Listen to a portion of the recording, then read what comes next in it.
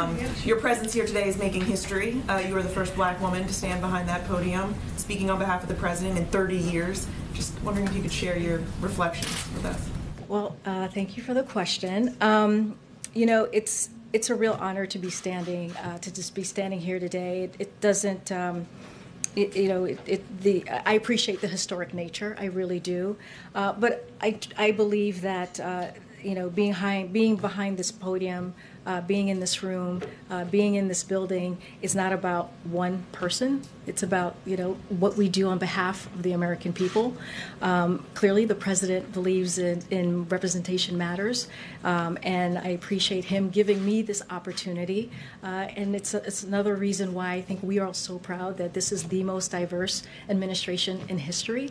Um, but again, this is not about me. This is not about any of us. And uh, you know, anytime I'm behind here, and I think you've heard Jen say this as well, uh, we are going to be truthful.